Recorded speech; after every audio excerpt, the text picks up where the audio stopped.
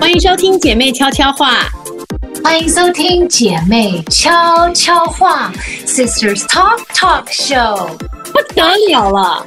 今天欢迎大来宾，Hello，因为大家好。因为大家都众人要求想看我妈，但是请大家不要再说她像我姐姐了。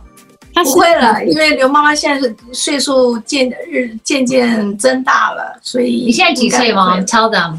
过了六十五，哎，刘妈你看不出来耶，可以我自己看得出来但是心态很好，心态看不出来你。的状况非因为常我们现在我因为我妈是射手座，你知道吗？我们不是很向往当射手吗？以为你不要一直黑射手座，没有你今天不是，我现在说我们现在都向往当射手，所以我们要来访问他，就是说对这个射手的心态，我们要怎么去模仿？因为你看他就是完全很满足，然后他不容易想太多事情，所以他就不会岁月不会留在他脸上他。很松，就整个人都很松。像我们就很好奇，刘妈，你看一下你那个女儿老大，就是二十几岁拖了个箱子来台湾，然后到现在四十岁才愿意再回去一下下。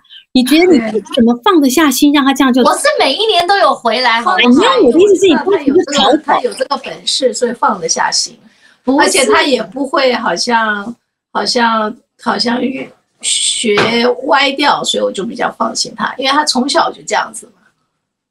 他自己很有自立能力，所以我才会放心，而且是照着他的兴趣走，我觉得这是最快乐的。每一个人如果那时候离他太远了，一个人生地不熟地方，二十二岁呀，对呀、他那个箱子就来了。也大学毕业了，OK 的。如果说是才高中毕业，那可能会担心。大学毕业啦，对不对？应该 OK 的。我很放心哎，他很容易。放手哎。对他爸爸，爸爸比较不容易。双鱼座放不了，双鱼座一句很难。对，我是 OK 的。我说你想清楚了，想清楚了。我说会很苦哦，他说他可以，真的很快就好吧。真的。拜，See you in 台北。你有四个小孩，你有可能四个都放得下，还是只有这个可以？都可以，我四个其实都是放得下的，因为四个都是离家蛮算蛮远的，你的个性，小的也是很远啊。我觉得这个性真的很好，是不是？离得很远啊。对啊，对，弟弟不然的话很远，对啊，不要就是最好不要老人穷操心，就是很平平常心最好了。这这其实其实是一个学问，这也是我们对啊在学习的。对啊，因为每个人都有自己的运气在走，而且我回想，我我这一次回来，我跟我的二妹跟三妹我们在聚在一起对，因为我我你们都知道我不太敢出门，我只有跟家人在一起，所以朋友打电话来什么，我都说这次不见面，我们就 FaceTime 就嗯好了。嗯嗯，但是我跟我妹妹花了很多时间嘛，因为家里有事，然后我们就是一起。我就那天跟我爸妈讲，我说，you know，这很奇妙，因为小的时候感觉三姐妹的走向都是完全不一样的。对那现在大家也都像玛丽今年也要四十了，然后小妹也三十对七、三十七八了，然后都都大大家都有各自的家庭、各自的事业、各自的生活。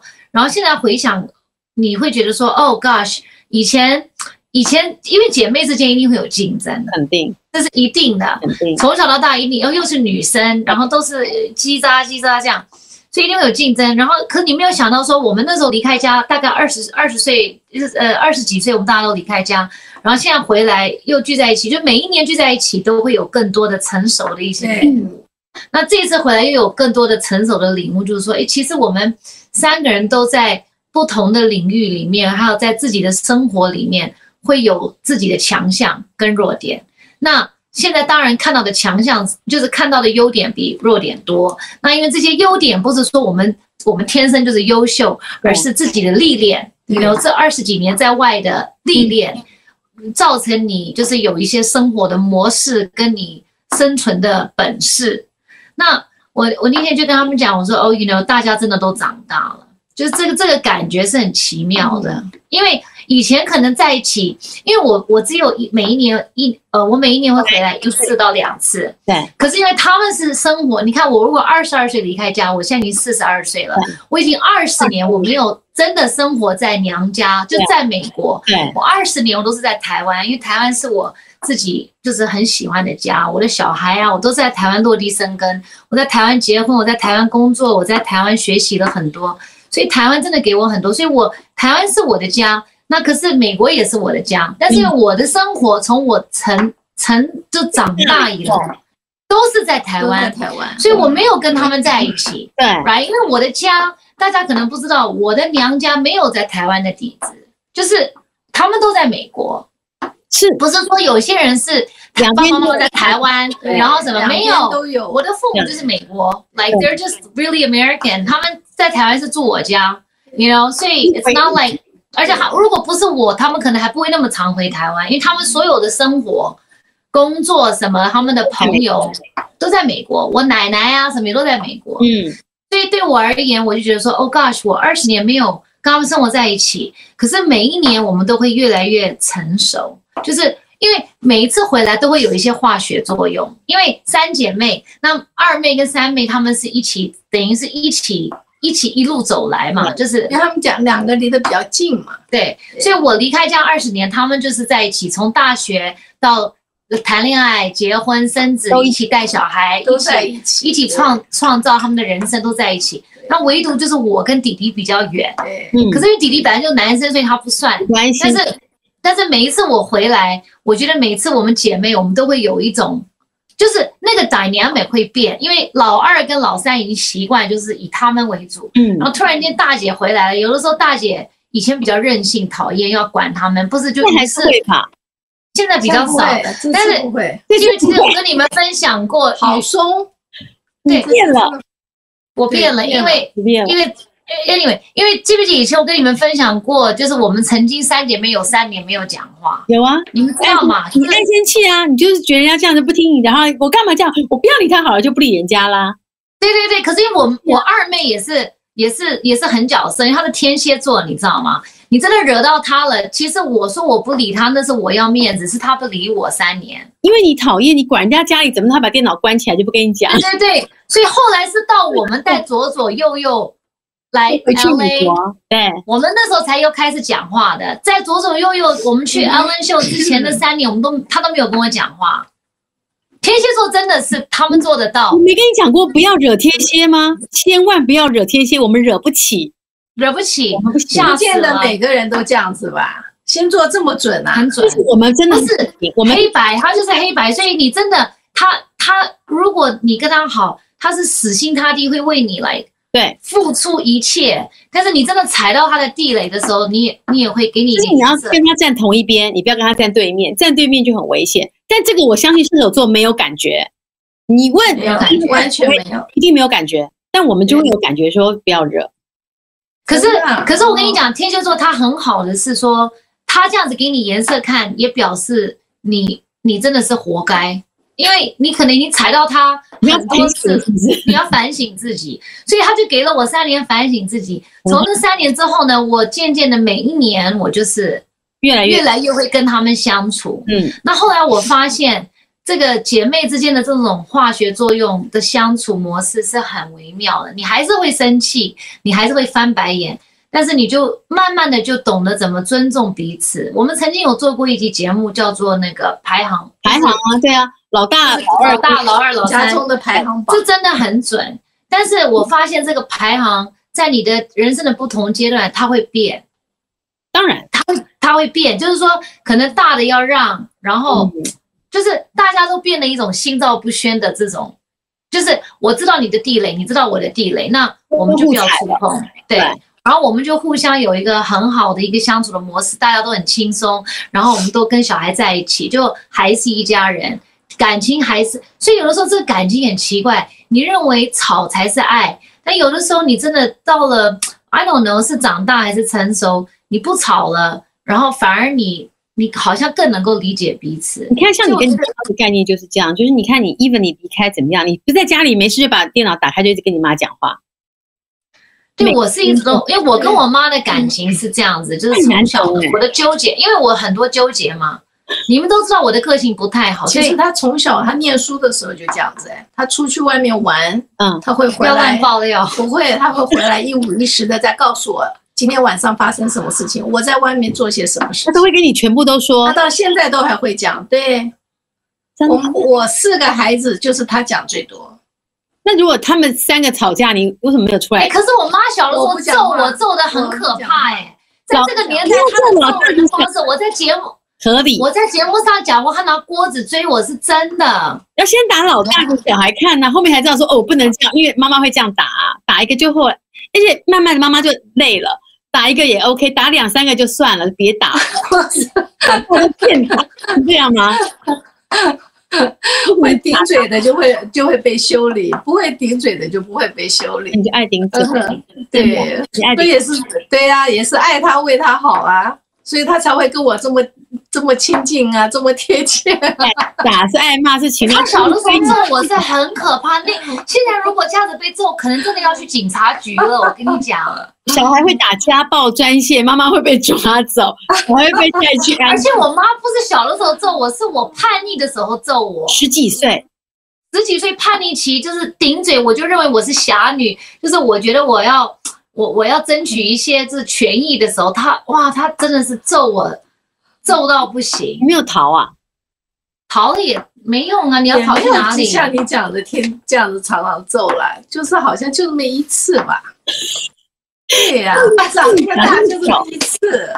对呀、我打你一 It's OK，但是没有关系。现在因为你也这个 again，你要想人家这样揍你，你可能也是要反省，对呀、所以可能你可能可能你活该。你有没有你有没有这样过揍过你自己的孩子？你回想，你有没有凶过我过？没有，我哎，我妈她揍人是真的，可是后来他们几个都没有被揍过，所以我常跟他们讲，你们要感谢我，因为我当前线，你知道吗？所以做完我了以后，他们都学乖了，就很多话都不都不讲，然后都不分享。没有他被揍，唯一就是问我为什么 why 的时候，顶嘴，对，不要问为什么。没有，对，你虽然是导演，我昨天在路上走路，我就看一个爸爸妈妈，他们后面带了四个小孩，我就觉得说啊，一个一对父母带四个小孩真的是很辛苦。像我们。如果一手牵一个就很辛苦，你要想妈妈他们当时带四个小孩，而且个性都不一样，其实又是职业妇女，那个过程应该是非常非常辛苦吧？哎，那可是我带他们真？的没没有辛，我在我的记忆里没有辛苦到我呀，好奇怪我要先跟你们。讲，因为我妈妈她没有管我们的功课，嗯，她那个年代所以我有的时候我觉得，像我我我要我要来呼吁我自己，还有现在的妈妈，我们都做太多了。他们那个年代没有所谓的直升机，没有直升机父母，嗯，因为你有，只是你的妈妈你不不是。但是因为我们那个年代，除了像他们这种就是住在美国的职业妇女，第一代的移民，是。还有很多是留学生，留学生他们父母更不管，因为他们父母自己在亚洲可能还有事情，对，他就把小孩，像我有很多朋友，我这个年代的是寄托在亲家家、亲戚家，嗯。所以他更不能管。可是反而我们这一代，我觉得我们都还有能力，就是想自己想要什么，就是我们还有能力思考。我们以前考大学，哎，现在父母考大学是 crazy。帮他不知道你们不申请对怎么弄怎么弄对呀、，我我不是跟你们分享，叫你们看那个美国的 Netflix 吗？就是在写那个男的，他不是拿了很多钱帮人家做那个假的什么，好像假装我是什么踢足球的，然后我就要进什么名校什么，然后从后门什么。哎，现在的父母很 crazy，现在的父母进大学是一种自自己的虚荣心，你知道吗？就是小孩如果不进到常春藤，我们就好像是失败的败类。你知道，然后哦，别人可以进，我们为什么不能进？所以大家都发了疯，这样子帮，就是我们那个年代，我要考什么大学，我自己弄。他我要考 SAT 是我自己报名，因为他们根本没有时间管这四个。都，没都没问也没。所以我们自己如果不管的话，我们就没有大学四个都没管，四个都走出自己的一片天，哎，我觉得我们要。跟妈妈对不对？学一下，他很松，他很松他就是你看，所以他每天就活得很开心，他小孩也没有坏掉，每个都很对呀，没有坏掉啊，都没坏掉啊，让他们自由发展，说不定还是件好事。我现在发？发现这是 psychology，就是因为他这么松，我们就会很紧张，就是因为没有人提醒你，所以你自己要弄啊。因为你自己如果不不不填写这些，你不不搞清楚你要什么对，你就没有学校。那像我们现在都管小孩管的很 like，多，所以他们就依赖。哦，妈妈没有叫我弄，我不知道，嗯。我不会弄。嗯嗯。我上个礼拜我在遥控吴先生还有我的小孩，然后他们有一些线上教学的一个课程，然后我在这个之前，因为那个那个学校他有给我 email，也有给姐姐 email，然后因为我们这边时间颠倒，我就跟姐姐讲，我说你，我说我不我不会去跟他讲那个 email 写什么，我只是说哦 email 来了，请你看清楚每一条看清楚，你在你在线上开课之前你要做的每一件事情搞清楚，然后他就说我弄了我弄了，那 OK。然后礼拜一要开课了，大清早就啪打电话给我，妈咪，有一条我没有看到，是一个 link 要开进去，然后里面有那个要要要准备的一些那个那没文具看到，要准备文具没看到，I'm like，那怎么办？我说你，我说，哎，你九点要上线，你现在八点跟我讲，我说现在去哪里弄？现在防疫期间我们要去哪里买这些文弄？不到了。你猫你在网络上订也要时间。对，我说那没办法，你自己想办法。然后他就很紧张，因为这个年纪的小孩，如果老师说他要一支蓝色的被，吓死，他就对他就不会觉得他可以用黑色的。如果老师说他要什么呃什么三环的那个本子，他就不敢去用普通的本子。是然后后来我说那没有办法，你自己想。然后我就说你自己想解决的方案，我我就不给了。其实这个解决方案很简单，就是他其实用什么笔用什么本子，第一堂课应该都没有关系。那还好，那你要跟老师讲，对，他就很紧张这样。然后我说，Let this be a lesson learned。我有提醒你要看清楚。我说，那你没有看清楚，你就是没有 double check。你没有 double check，你现在紧张，那你现在的后果你自己要承担。然后我就下线了。然后他爸呢，就在那边一直打他爸应该给我说，开车出去买东西了，对对对，开车我说你不肯去，现在也没地方去，八点钟去哪里买都啊？关了，现在都关了。not important，你叫他，他他爸也很紧张，就坐在他后面看那个老师说什么这样。后来都还好，but 我他他后来就跟我讲，他说 OK，下次我真的要看得很清楚。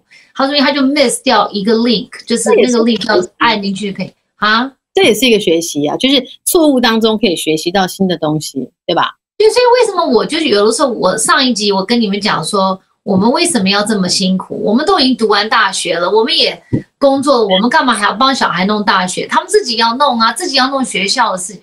因为我就这样长大，我妈她，疯我妈是我们学校有单子，我要回来说 sign it，sign it，而且还跟我说吗？我好像只负责签对名，她也不看的。我说 sign it，明天我一定要签，因为以前我们考试卷啊什么都要签我们也不敢自己签，我们因为我们特别害怕，就 sign it sign it now sign it now，所以他越松，我们就反而越来紧张，因为没有人帮你，你要自己想办法。那妈妈上班那没办法啊，就是很忙啊。我弟弟他都他都那个什么保姆 doctor 毕业了，他也就自己弄的、啊。嗯哼，就也可以，我妈也不管他，他现在都在纽约当医生了，来在很大的医院当医生了。也 like 对不对？他也他也医学院报，然后他现在年薪也是很 crazy。他才几岁？弟弟才几三十十一，呀不到三十。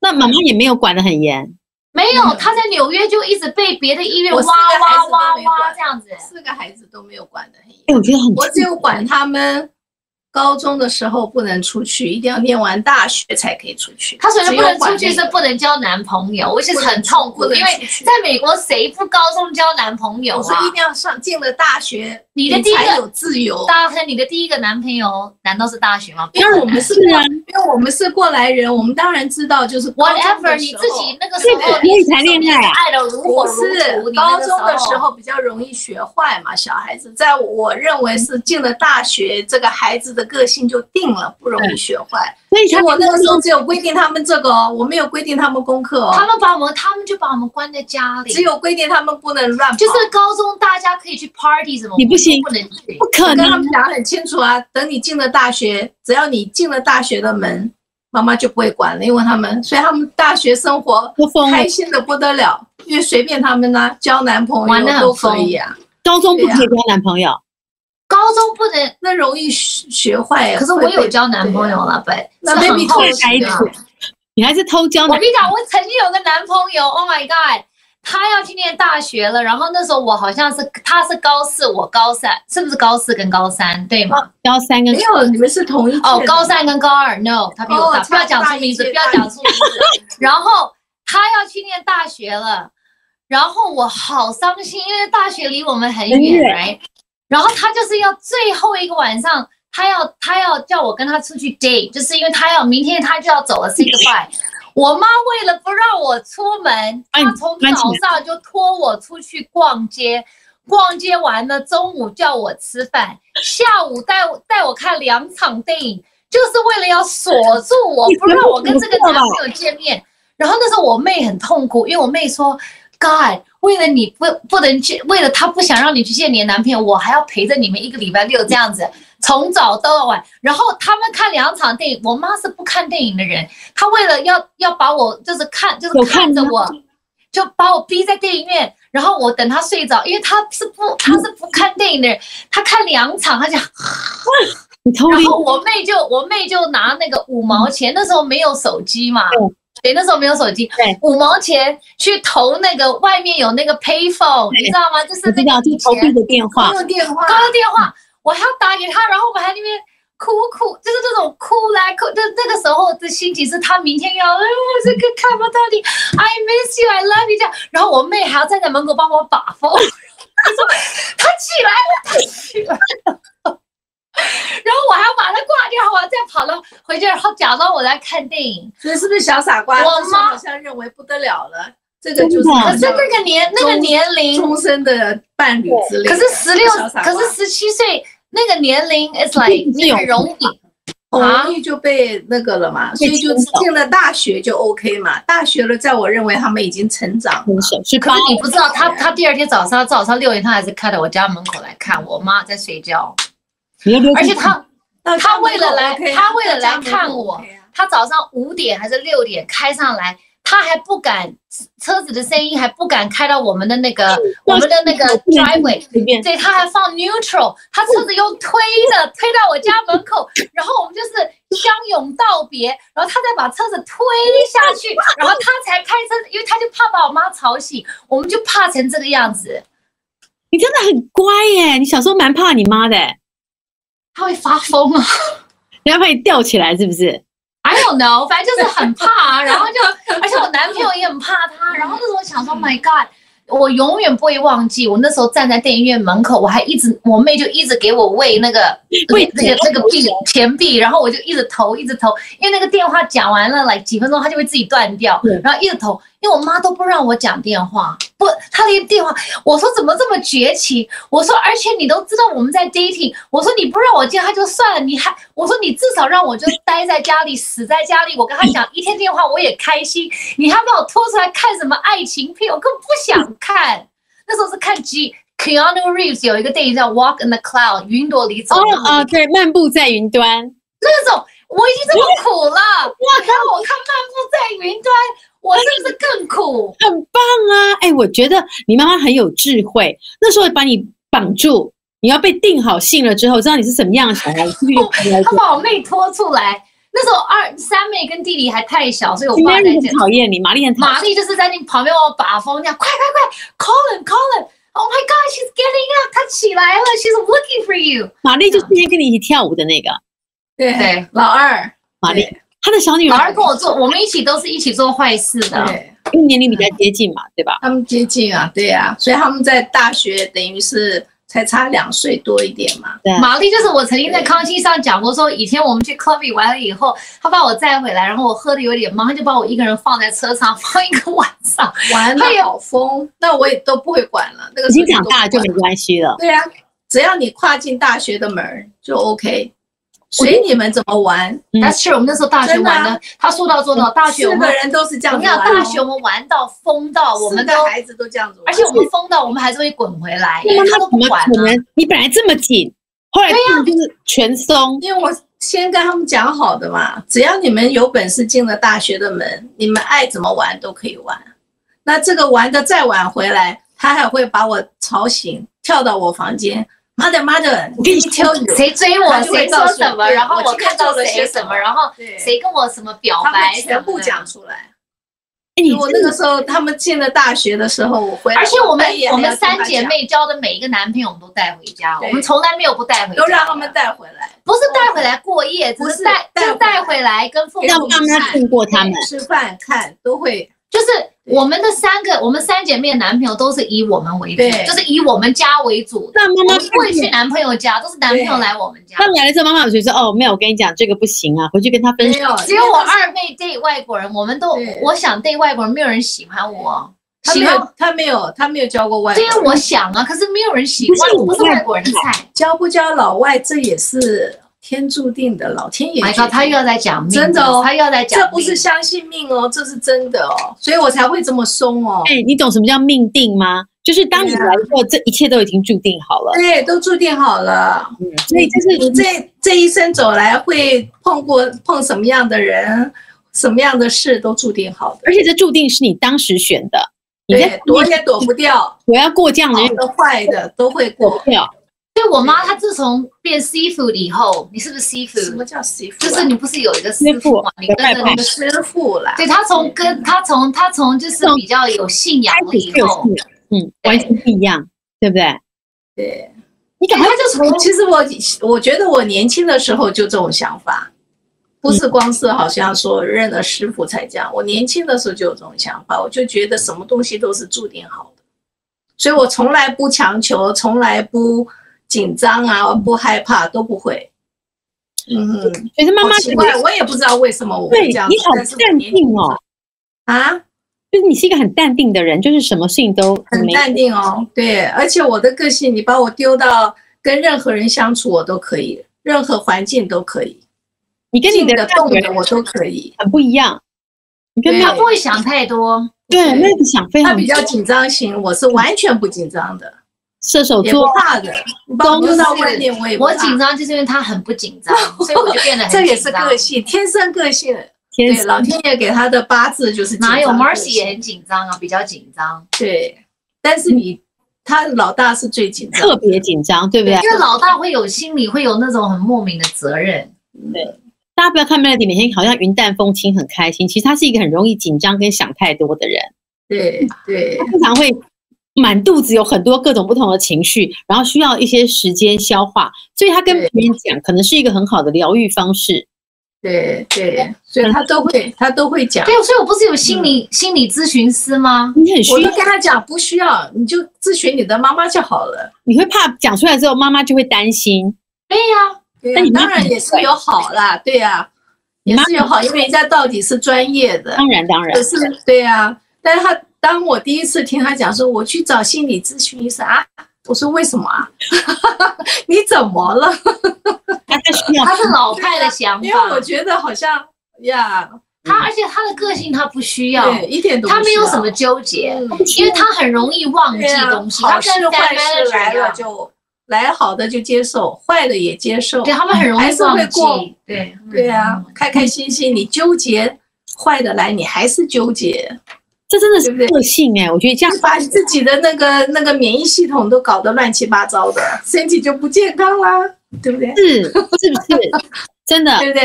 没有对啊纠结，但他就是因为他心思很细腻，他对，他主要就是说，对呀，这对他对他因为我有敏感的体他有敏感的体质，所以他对我特别的感觉。我们是比较粗，没有感觉。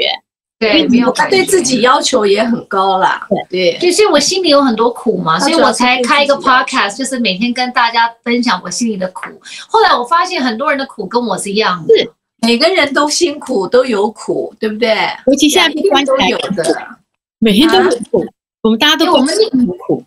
我们那天在讲说，当然我们要学会惜福什么什么，嗯但是其实人生苦，我们也不要觉得很苦，因为其实人生苦是应该的。我妈说，人生下来的这个生活就是来当中受苦的就是来受苦的。让你体验，这个跟钱、跟跟真的财富没有关系，这个跟你有钱跟没有钱没有关系。有钱有有钱人的苦穷有穷的人苦。对，对，老天爷给我们来到这世界上，一定是受苦的，然后从苦中寻求你自己的智慧，看你怎么发展。所以其实我们不需要不平衡，因为其实大家都是苦的。对，每个人都是苦的啦，不可能说是这辈子都不辛苦的。I mean，就算我们看到有一些人，他感觉是人生胜利组，他有他自己的对啊苦，对呀、Maybe 其实很多人可能觉得，我我就有很多员工啊，就想说我想要变成 Melody 啊，他觉得 Melody 是人生胜利组，他什么都有，然后又很漂亮，又很有自信，又有才华什么的。我就说，其实每一个人的苦你看不到。你永远只看到别人最光鲜亮丽的时候，因为我会站出来跟你说我很苦，你只会觉得哦我很 ready，我走出来。但每个人有一些，就像我们讲，家家有本难念的经，你肯定有对一些心里的事情，对，这都是每一个人的功课，一定有的，嗯一，定有的，不可能是顺的，不可能就没那么顺，肯定有一些不顺。对，人来到世界上不可能是完全顺的，不可能。而且人生很长，所以你就算前半生，你们有没有？我们不是以前有看那个剧《我的前半生》吗？是那个女主角前半生，她觉得哇，她嫁给一个老公，那个老公步步高升，然后她就，每天花枝招展啊，买鞋子啊，买包包，然后她老公爱她爱的要死，她有一个可爱的女儿，可爱的儿子，然后她妈妈也帮她，她家里还有阿姨什么，然后那个老公突然间就跟了一个那个旁边的那个长得就是也不怎么地，单单可是就就跑了。然后这个女的就说：“那我的价值在哪里？我我的我我她她她她这么爱她老公，她她那种她就要她就要从零开始。所以其实你的人生这么长，就算你的前半生很就是 you don't know，就是其实我觉得这种苦，我觉得 it's OK。我们讲苦，当然你说比上不足，比下有余，但是这种每一个人心里的功课，是我们势必要走的，因为这这个走了，你才会发现，你才会更了解自己，然后你才会真正的能够达到做自己的一个目标。很像就是每个人，如果假设你的人生是要来受一些体验，那么妈妈可能就是你这个体验时候的守护者，就是她在守护你，她她比如她照顾你，从你到十八岁，然后你长大定了性，然后你不管你长多大，你永远会想要回到一个就是妈妈的怀抱。就是我觉得 Melody 那时候一直很想回去美国，可能很多人觉得说你干嘛还要冒这个险啊，坐飞机啊，把自己包成这样，为什么非要回去不可？这很恐怖可，it's 是我 really 认恐怖为。亲情的呼唤其实是一个很大的，even 这边有小孩，那是一种爱，可对父母的那东西是完全无法割舍的。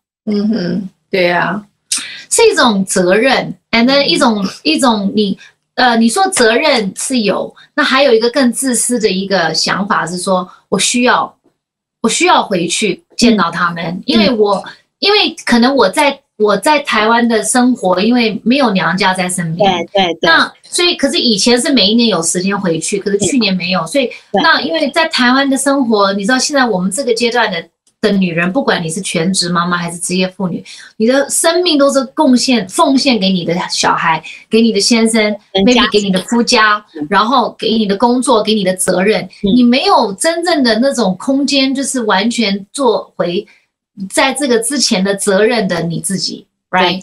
所以你没有那，因为像你们娘家都在身都边嘛，对对，like 你今天不爽了，你今天就是像雨薇，她不是常常说她回去当女儿当一天，就对啊，包个饺子什么的，他也很开心。是就是每一个人在生活的忙发发泄对忙碌当中，你需要一个你自己的人，不是说你先生不是你自己人，但是你小孩还小，你小孩是自己人，可他们也不可，你也不可能在小孩面前去去耍废，对对。那你一定要有一个避风港，所以为什么我就跟我的女儿讲，我说你们结婚，你们嫁给谁都可以，是不要嫁太远，就是要要嫁妈妈能飞去的地方，因为像我自己真的是嫁很远，你家很远呢，十万八嫁很远千里，你你说还如果他们住台南，那还近一点对，right？想到就香港 or something 嗯。美国真的是天差地别，嗯，所以尤其在这种时候，你要回来，那真的是很很很很很慌张的一件事情。对，所以就是说，可是我觉得，我觉得 for me 一个自私的一个一个想法是说，OK，I、needed it，I 我需要，因为我的我的情绪，然后我那时候的状态，我觉得我如果不回来，然后看到他们，看到我妹妹他们，看到我的侄子侄女，就看到我的我的原生家原生家里的人，我觉得我觉得我好像我我会喘不过气。对，是，所以他这一趟走也对他来讲也是一种舒压所以。你问我妈，我回来我超松的，而且我好我一步都不离开家。对对，对那个时候我们在为什么我们在讨论说要不要让他回去，我就跟嗯派妹姐说，这个人已经失了根，到了饱和点，他已经到了很饱和，他需要回到他的一个母体去得到能量再回来。而这个那个是很纠结，其实我们讨论过很长，其实我们讨论大概十几天，每天都在想要不要去，要不要去。但我觉得人都是需要休息，而那个休息有的时候亲情真的是一件很，你不觉得很奇妙？那天我们还讲，对我们今天要讲今天的主题可能是刘妈妈来了。其实刘妈妈在 Melody 的生生命中很重要，虽然她常那边 diss 她妈妈，可是心里很爱她妈妈的。对对，对我跟你讲，我妈就怎样怎样，什么什么，对对对但其实就是那种爱是回到妈妈的面前，什么话都不用说，耍废。，那就真的可以很安心的、完全的放松，不一样。对，对孩子，不管再怎么长多大年纪，嗯。父母永远是他们的避风港。是啊，就是我看到你那个照片，其实大家都你看很多网友的留言，就说你跟爸爸就是手勾着手那个，那其实还蛮嗯值得的。对啊，对啊，我回来，我爸最开心，对。他现在又开始唉声叹他气了。跟他爸爸在家在一起，跟妈妈在一起完全不一样。为什么？爸爸在一起更撒娇，就像是个小女哎，孩。这种撒娇，对，就是给人家的感觉。双鱼座爸爸很适合撒娇，OK？你这样他会开心不得了。对对啊，对啊，对双啊他们内内心的感情我情，们曾经有有过一个故事，我每次讲这个故事，大家都会喷泪。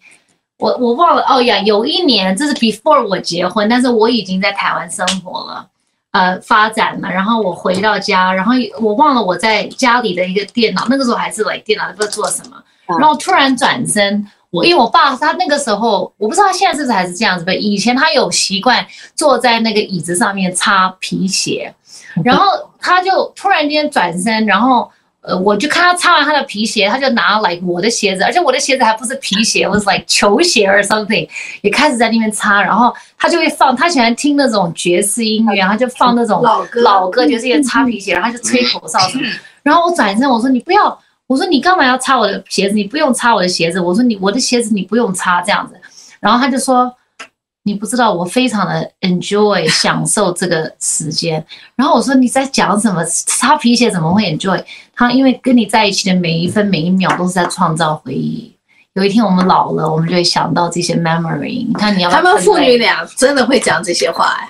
嗯，没有，都是他在讲，然后我在听。他会很感人呢，他会讲，哎，对男人呢会讲出来很不容易耶。对对对，雨薇在哭了啦，他就跟他大女儿都会讲这些话。雨薇在哭了啦。我跟你讲，范 marriage 也不能碰到这种话题，她就是那种哦，他也是一个很敏感的人，真的。哦，就是哦这样子，有你不是有一次雨薇发了一个一个文，他就说他爸爸那天也是也是也发了一个，就说我跟他在一起的一些回忆，就是我我可以这样子跟你在一起多久，我可以跟你牵手多久？那个概念，对啊嗯，对啊，是蛮感人。对，不错啊，女儿也是个孝顺女儿。她是以为很孝顺，她照顾她妈妈。她以前不会煮饭，现在都会煮饭。那很贵他那个我爸这次回来，他怎么跟我讲？他就这样，因为他他不他这个女子哭成这样子有必要吗？我你都看不到范 manager，他现在已经拿卫生纸了，OK，everybody，、他已经在他真的他哭出镜头了啦。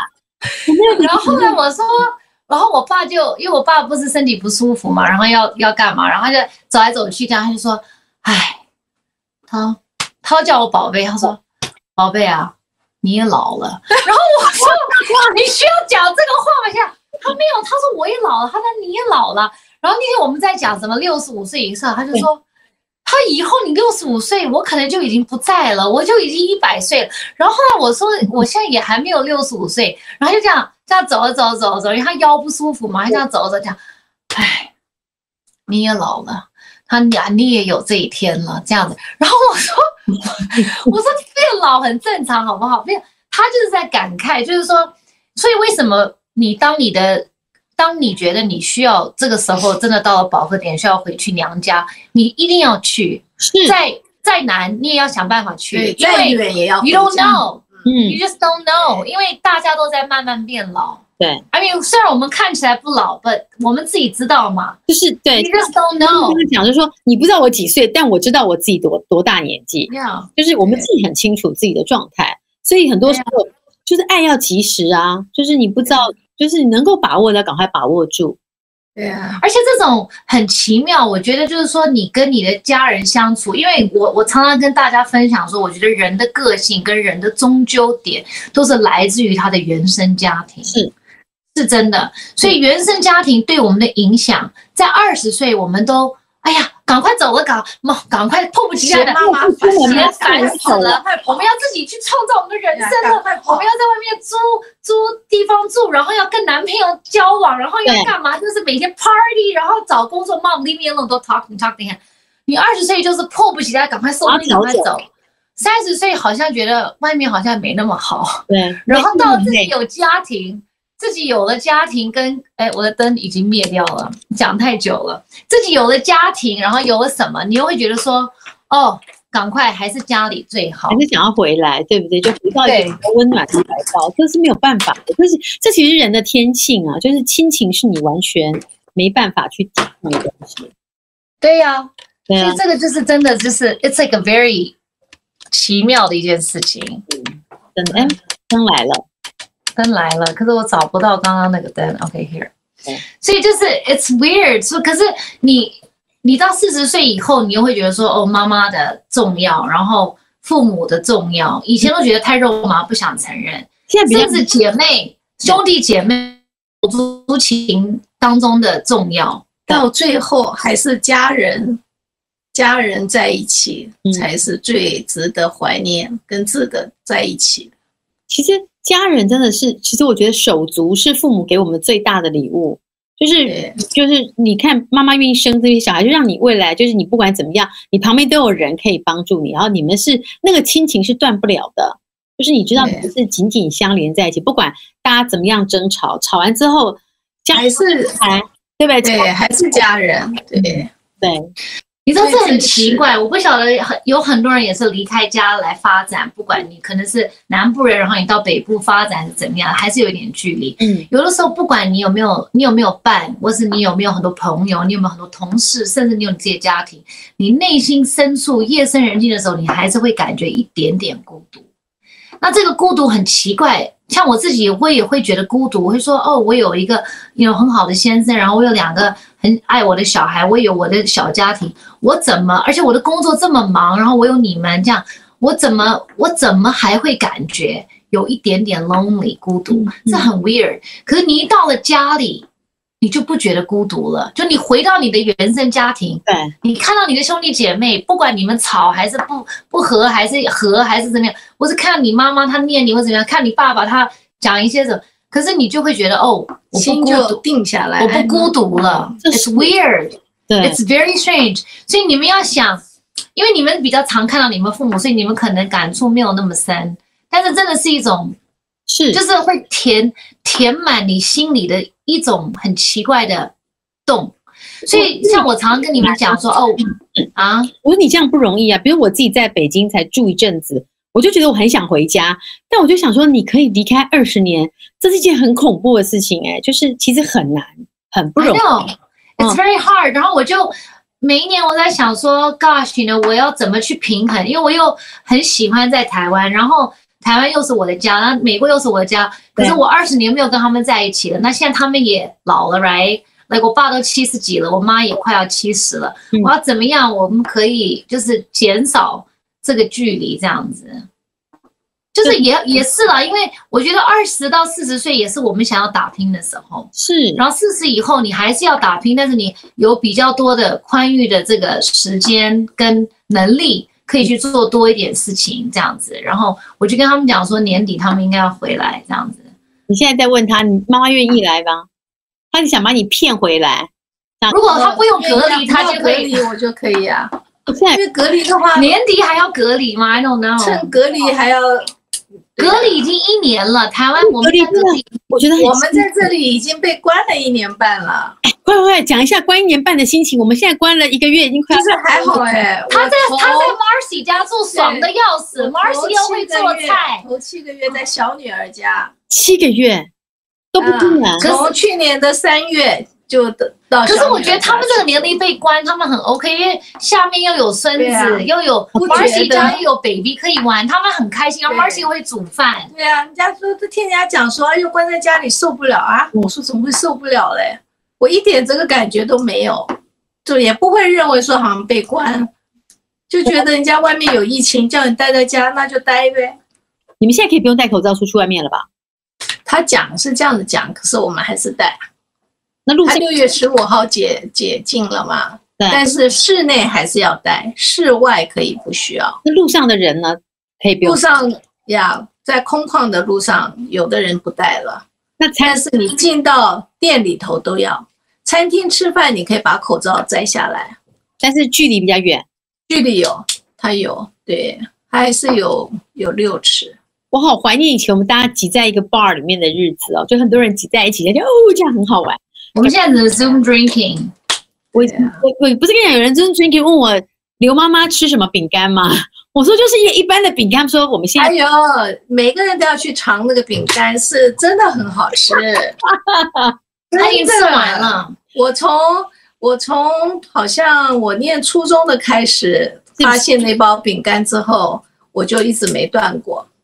我说要帮你寄一箱啊，你的女儿拒绝我，我不好意思了，是不好意思麻烦，地址给我就寄一箱，因为那个 seven 是跟我们说，如果我们要可以跟他订，他就后天就会来了，真的假的？真的啊。我跟你可是饼干可以可是寄吗？他们有两种哦，那个长得类似的有两种牌子哦，真的假的？一定要对的哦。你这次买的是对的，是对的牌子。我知道它类似包装有两种牌子。有一种有葱的，是不是？哦，嗯不是，对对对对，不是。我说，even 这个苏打饼干好像它很类似，啊真的啊，我可以前面一个字都是一样的，后面不一样，后面第二个字不一样。但是这次雨薇买的是对的，对的。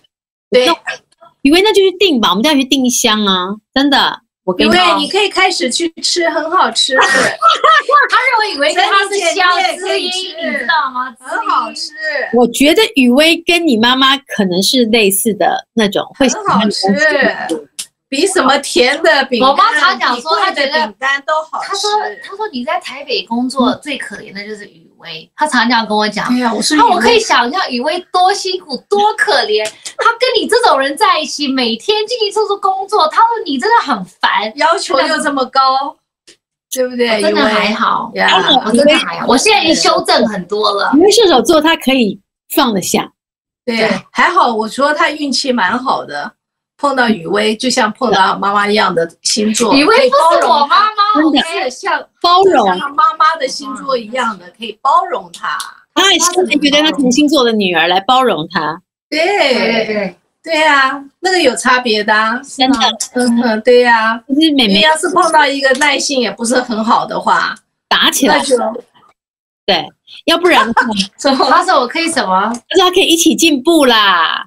哦，有人摩擦就会慢慢的被因为以为他帮我录影片，他要把手按到镜头上，都快发疯了。然后那个镜头就是他的手指，然后我说为什么 人家看不到我的 line？因为你把你的手指放在镜头上，他是我的手指吗？那不然是谁的手指？他就是这样子，他就是傻大妹啊，就是一个大妞，然后没什么感觉这样子，所以他活得很开心啊。很开心啊！面他们很开心，而且什么事都难不倒他，因为他没有感觉，他就什么都是很平静。其实我认识雨薇这么久，他就是一个很平静的人。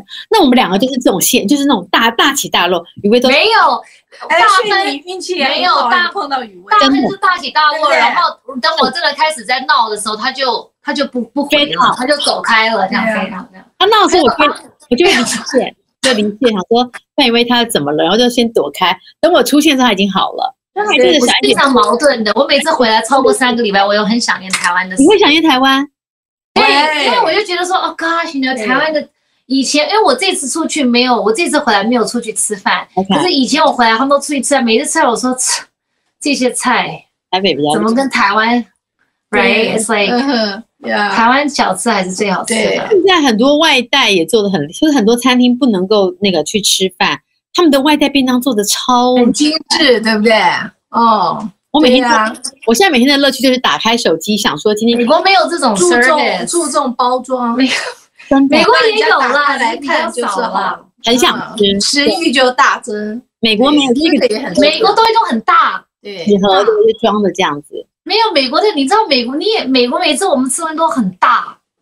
我记得记得有一次我带雨薇来，我们那时候是带左左右右来，我一下飞机我说哦带你们吃最好吃的汉堡，in and out，然后他们就吃了以后，雨薇这样吃一口这样，跟麦当劳什么不一样？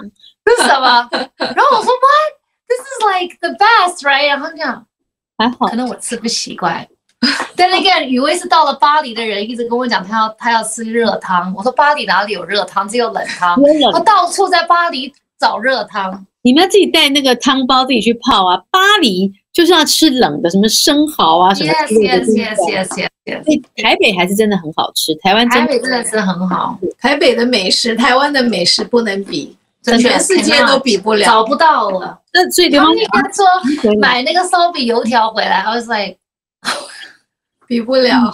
就是差太远了，差太远了。对，那你现在不是很会做，你有没有弄葱油饼给他们吃吃看？没有没有做，我在这里没有做，因为我就是放对，like 放空，我们现在我一点表现欲都没有，真的假的？真的。本来还他不错，他不错，他会好像自己待在家里，宅在家里，他也会担心妈你要吃什么，我们我们来一起做，他会帮。对，妈？有做什么厉害多？半都他都他长厨。因为我们就如果在家所以我就，卤牛肉啊，就是简单嘛，因为家家里又没有小孩，对，对，对呀、就很简单。单。嗯，然后那天我奶奶来，她又在烙她的葱油饼，她要教我她的秘方，可是她的那个秘方太难了，我可能做不出来。我以为你学会了秘方要回来，你没学啊？我有学，但是她那个，因为她那个面太热，很烫的面，她那个擀出来那个葱油饼是很软，很很比较稀，很稀，所以你要马上把它丢到那个锅子里，对然后它就所以它那个对它就很软，可是它就很酥，因为它油用很多，哦，看还是厉害啊，是不是？厉害。对，你这样讲，Anyway，蛮想就是分享家里的一些事情给大家，嗯嗯，对亲子还是很重要。是，就是回到妈妈的怀抱还是很重要，就是人没有怀抱了，不要恶心了。好了，爸爸的怀抱。你爸爸应该会说：“哦，give me a hug。”你爸爸应该这么说，你爸爸应该每天想跟你抱在一起？他说他现在又开始忧伤了，还要再开始数我要我要离开 LA 的日子这样子。我觉得你爸会泪洒机场，哈，你爸爸会泪洒机场，会吧？他很容易。我我不是上次跟你们分享我怀孕的故事吗？我有跟你们讲过吗？对，在节目里 remember 那时候我不是一直生不出呀来，呀呀！然后我们不是你们回来，然后我们出去对啊啊玩，然后回来我就看到那个叶一梦是两条线，然后你就你就喷泪，然后爸爸就忍住，然后后来我们就一直等等等医生开门，然后我们在仁爱路还是哪里吃完早餐，他突然间就站在那个仁爱路路的那个那个圆环的交口说：“你会不会真的怀孕了？”他就哭，真的，it was like so crazy，真的我觉得你很爸很可爱，很 drama，很可爱，这样很多。其实蛮好。其实大家还蛮想念你，然后想知道你在那边过的生活。看起来你在那边的状态跟在台北其实不太一样。可能啦，台北，Well it's okay，我快要回来了。对，期待你赶快回来。不过他还是喜喜欢忙碌的生活，感觉的对啊，我还是不能太闲，我太闲我就他喜欢忙碌的就生活，不太对了。对。你要回来呀、很多录影在等你啊，还有很多的等一下，coming coming coming，我我我明天就去，我明天就去那个 COVID test，对对，你现在不是在那边看要先 COVID test，不舒服？我公司我还要算那个日期，好像七十二小时之内还是什么？I don't know，我要再算一下。三天之内的，对，然后你现在可是因为我抓不准美国的那个 COVID test，它它上面就讲说要一天到两天 PCR 才出来，所以我又要我又怕你七十二个小时就就要刚刚好七十二个小时去验，因为你如果拖久一点，你就怕那个 test 出不来哎，。你要算清楚啊，对呀、你要算清楚，以免到时候不行。而且你回来很辛苦，要住在那个防疫旅馆。隔离。对啊，你们有你们有没有送什么便当给我吃？还是？你 如果那你可以送我，我每天可以找人帮你送。如果应该可可以以吧。吧？还有到门口要问叫他自己，出来拿。不是不是，不可以出来。要放在楼下啊？登记，然后他们在送餐，像月子中心。对概念是。哦，只能只能送到门那个就我后来发现，的跟月子好像跟月子中，到时候我再跟大家分享，好像就是跟月子中心一样，就是他早上九点到十一点是早餐，然后中午是十二点到两点，会放然后晚在上五点到六点。你的门口会有一个桌子还是椅子，然后呢，他们有个系统会按叮咚，你打开门的时候一定看不到人，因为就是东西都放好了，所以你打开之后，你的门口就会有食物，你就拿进去。对，然后我看那个防疫旅馆，他讲说你下车有个特别的通道，你不可以从大门进去，你要从你要从防疫通道进去，对，而且他又要求我们就是 check in 什么，就是信用卡所有的东西都要都要先 email，就不要看到人，就你入住的时候你不会看到任何人。没，错，没错哦，是，所以就是 SOP 做的很严谨哦，就你不会看到人，yes，哦，你需要不错，东西在那也是另外一种人生的经验。对呀，就是月子中心了一个月子中心，我觉得我就把它想成月子，会不会出来我又胖三公斤，我要气死，不行，我要每天运动。我。们送一个那个什么瑜伽垫进去给你啊，有有有，我会我会可以，你们可以送个瑜伽垫然后。送两个哑铃给你啊，然后你就哑铃我有，我从因为我我自己有带到美国，再把它带回去。哎呀呀，然后你看你需要什么哎，，你们有没有去做那个日本人那个薄的背的运动？你有没有把链接给我？我给你啦，没有啊，没看到有雨薇有在做啊？我在有在做啊？哦，没有。讨厌的 Melody 都一直不告诉我那什么什么东西。有我你去看，在我们的群组里好，哎，那我那我误解你了，我还想说你干嘛不回我啊？没有那个日本的那个那个真的很好，那做完之后，我觉得我的手臂马上变细了？我看一下，现在看不出来了。真的啊真的真的那个背的那个运动真的很好你有给我们连接？，yes。刘刘威在点头。好吧，那我就待会来来找找看，好吧对？啊，你今天如果回家你太无聊太寂寞，你可以做一下那个日本薄贝的太。太沮丧，晚上都是我沮丧时间嘛，所以我在晚上沮丧的时候，我在喝酒，我想喝酒，就 我妈说我们要戒酒了，不要再喝那么多了。那何以解忧，唯有自我们喝太多了啦。解忧一杯两杯 OK，好。可是都现在已经有一天我跟我妹我们在家喝了一你们喝了一瓶啊，不会是跟喝了三瓶白酒，一瓶 gin。你三个人一个人一瓶我还可以接受，但第四瓶就不行了，对呀、第四瓶还是烈酒行。所以你 crazy crazy 三个 night。人一个人一瓶，我觉得嗯到这个线就差不多。然后我爸说：“哎、你干杯像那个，像那个，像那个大姐大像大姐大一样，好恐怖。大姐头然后他说：“My God！” 他说你你他你怎么可以这样子？然后 like！因为我跟你讲，我玛丽就是有的时候喜欢激怒我说：“你快点喝啊，看谁酒量比较好啊。”这样我无聊嘛，你就会被激怒，你真的很容易被点燃，一点就很容易被激怒，好不好？然后我就说什么白酒，我就去 Marcy 的那个那个那个酒的那个柜子里拿了一个 gin 出来，我说我们现在来喝 gin tonic，然后就就一下子那一瓶 gin 就全部喝完了。哎呦，不省人事吗？我跟你讲断片，我就知道一定要不省人事啦。可是而且我从来没有断片过，这样子断片，like 真的你问他怎么晕倒，真的晕，就是断片，完全不记得。放心跟很放松，因为这自己家人就觉得断断片没关系，在外面你就不敢。而且我自己在家里喝，吴先生也不理我，那就不好玩啦。那他们三个人会，就他们两个姐妹会跟我一起发疯，对呀、很好对，很好。而且牛妈的酒量也不错了。妈，哎那你现在酒量不错吗？你可以喝多少？你别我搞了。其实我酒量蛮好的，但是我一个咖啡一个酒，我都嫌它苦跟辣。酒我嫌它辣，嫌它辣，嗯，对我得呀给你找辣又一些辣的酒，有些酒有都辣，烈怎么酒也。可能？但是我现在酒量蛮好的，因为那个喝的时候不感觉有酒在这个酒杯里头。二妹跟三妹会训练他，那现在可以喝多少？啊一杯。我 no 我呃 上个礼拜有一天一天喝，上个礼拜哦，你喝多少？我跟妈跟小小女儿在一起的时候，在喝多泳少池里头喝多少？喝了四杯，四杯什么但是它不？Pina 是 Colada 不是那个是果汁没有。它是只是有 rum 跟那个 banana 跟跟香蕉跟草莓 mix，那那个好好喝。那那个不是真的酒，那是果汁。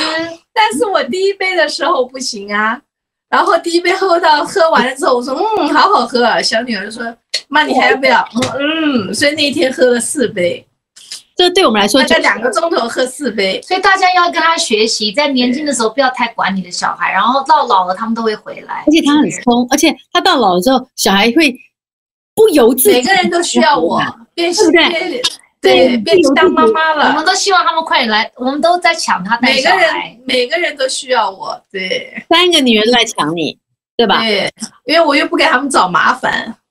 我觉得台湾这个会抢比较凶，台湾这个我已经两年没抢到了，该轮到我了吧？我年底就要把它弄回去。年底把它抢过去因为。我们明年有别的工作的计划，我我年底就要把它弄回去。你赶快认真，年底把它弄过来，我觉得可以对，呀、可以对。不对？对轮也该轮到了对呀、轮也该轮到我了吧？因为你加油你，加油你，加油！可以的，可以的，会的对好哦，谢可以谢哦，谢谢对啊今天跟我们联系，你们很晚了，对不对？对，几点了？你们已经晚了。OK，你不要越讲越开心，快点赶快下线。他快要爆料了，爆料了吗？还是我们不要下线？没啥料，好爆。OK，OK，好，谢谢刘妈妈，谢谢哦。OK，拜拜。拜拜。拜拜。等一下，那个，你要去逛一下。